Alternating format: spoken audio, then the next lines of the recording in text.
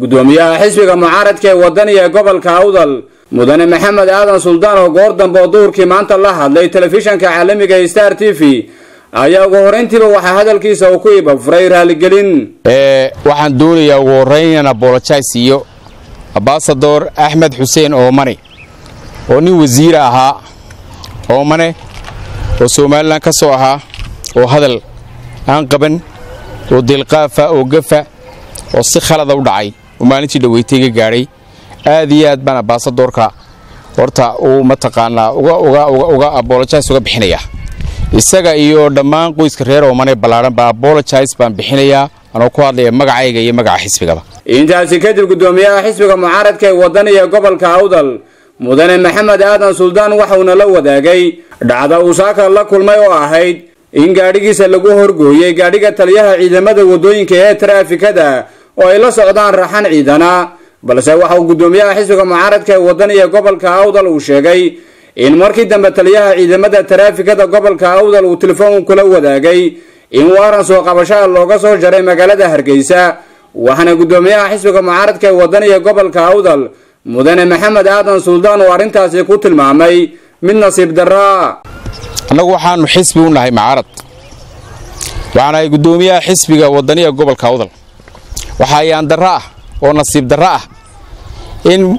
gobolka awdal oy maxkamadi ku taallo oo ay xeerlaaliya joogo in waaran hargeysa laga soo jaroo laydhaa soo qabta guddoomiyaha gobolka awdal ee waddani soo qabta laydhaa waa nasiib darro ku absatay somalilan guud ahaan. Ma garan karayo sababta waxalla waxaasoo shuruuca looga gudbayo. Waxa waajiba way saaran aniga ama waaran ha soo goostaan oo gurigayga ha yimaadaan oo gaadhigayga waxaa lagu horgooyey gaadhiga taliyaha taraafikada ninkii axmed daahir laydhaa baa gaadhigayga ugu horgooyey gaadhigiisa isagoo wata raxan ciidana. Ma garan karayo sababta keentay waxaa wuxuu igu jawaabayay markii dambena telefoonna ii soo diray waaran baa hargeysa laga soo jaray. Ma garanaya maxkamaddii gobolka iyo kii degmada gorta laacay cidda dacwad aniga ay qabtaa ay maxkamadday dacwad ka furan doontaa looyar baanay qabsan doontaa. Halkaasay ka hadli doontaa. Haddiise ay tahay xoogxoog iyo militari waxaan horjoogo ka ahay instituushon labiyo afartan kun oo qofan instituushon ka ahay.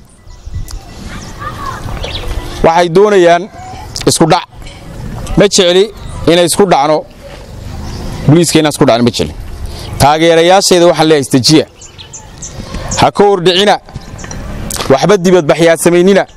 Istajiya baan leeyahay taageerayaasheeda dhanka kale guddoomiyaha xisbiga mucaaradka ee wadaniga gobolka awdal mudane maxamed aadan suldaan sidoo kale waxa uu ka hadlay xadhigga guddoomiyihii hore maxkamadda rafcaanka gobollada awdal iyo selal idris faarax muuse muddo saddex maalmoodba ku xidhan saldhigga magaalada boorama oo meeyarka degmada boorama salebaan xasan xadi uu ku soo eedeeyey.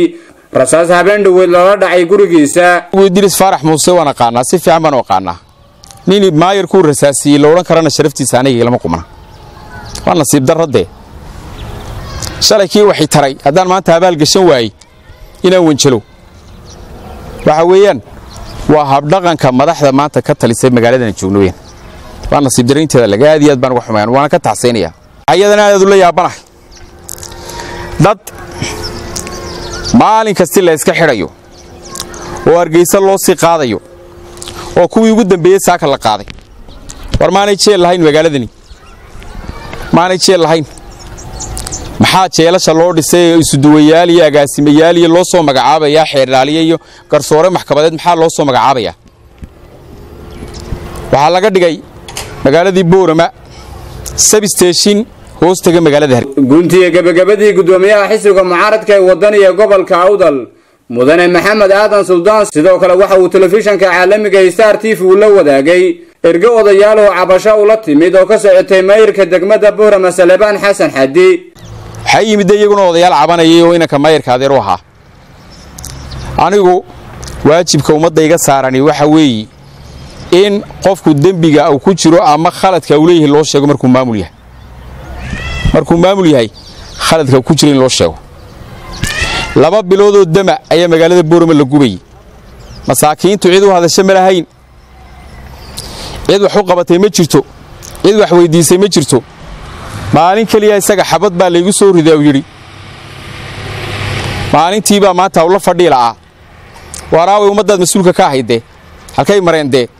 Haddaad adigu isku damqanayso ma lafaagaad mas'uul ka ahayd?